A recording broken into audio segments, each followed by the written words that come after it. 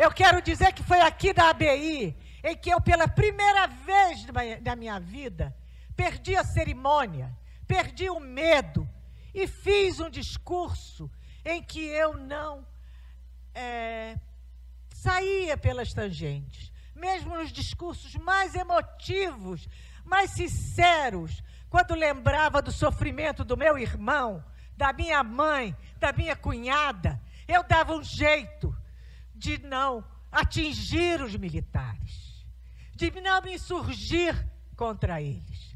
Mas foi aqui, num evento, em que eu estava ao lado do Pisolato, ele não se lembra porque ele não me conhecia, e da senhora dele. Nós estávamos sentados ali, viu, Pisolato, naquela primeira fila. E eu vim fazer um discurso sobre o mensalão, que eu chamei de mentirão. E continuo chamando de mentirão até hoje, porque aquilo foi um projeto do conluio que depois, por fim, alcançou o seu objetivo, que era tirar o PT do poder. Eles queriam desmoralizar toda aquela representação de ideológicos do governo do PT. Zé Dirceu, Zé Genuíno, aqueles legítimos e autênticos que sofreram, foram presos, tiveram que viver o exílio. Foi para isso que eles fizeram o mensalão. E quando uma das ministras deu lá a sua sentença, ela condenou sem provas. E disse que estava condenando sem provas, sabia disso, porque a literatura jurídica permitia. Era isso que eles queriam fazer. E aquele jogo de capas, aqueles é, ministro com a capa preta para cá, capa preta para lá, gente empurrando cadeira para sentar, empurrando cadeira para levantar, às nossas custas, para destruir o nosso país. Isso não se faz. E a Globo nisso tudo. E eu passei a minha vida na Globo, quase 40 anos ali. E na hora que não houve uma censura, eu pude ter coragem.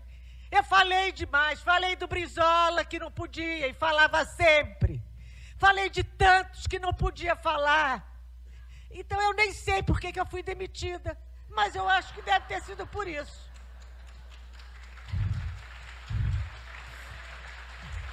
Então, falam muito do ovo da serpente. Eu vou falar da serpente. A serpente é a Globo, gente. Porque ela que influencia os outros. Ela que influencia a Folha, o Estadão, a, faz a cabeça da Veja. É ela, porque ela é a referência. Ela é que tem os melhores. Ela é que tem a melhor forma. E o pior conteúdo. Porque com essa forma linda, estética, de dentes brancos. Aliás, eu quero clarear os meus. De dentes brancos, ela, o que ela pretende é nos enganar. É vender uma linda embalagem, fazer a gente acreditar, como acreditou no mensalão, que, que, que instituiu o judiciário midiático. O judiciário com botox. Foi, antes disso, o ministro do, do, do STF não tinha botox, passou a ter. Entendeu? Agora estão todos facialmente harmonizados.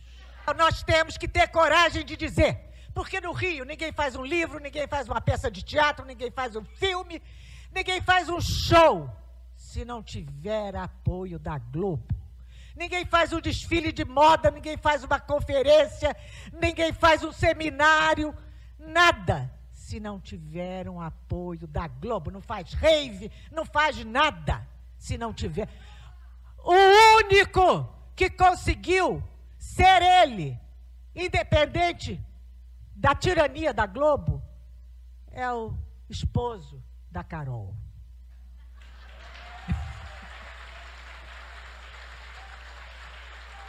E, gente, eu estou tão feliz de poder dizer o que eu penso, de poder ser o que eu sou e de poder dizer hoje aqui que nós temos sim, como bem disse aqui o meu querido é, é, é Ricardo, Ricardo do Tom, é, Ricardo Nego Tom, como me disse o querido Ricardo, nós temos que ir para a rua, temos que ir. Eu acho, eu não tenho influência sobre o Lula, aliás, eu não tenho influência sobre ninguém. Mas eu, eu tenho influência sobre meu marido. Sobre meu filho também não tenho. Acho que só sobre meu marido, ou eu penso que tem. A ver, não tenho, né? Mas aí é isso, sabe, gente? A gente tem que ir para a rua. Oh, o nosso Líndio tem influência sobre o Lula. Fala com ele.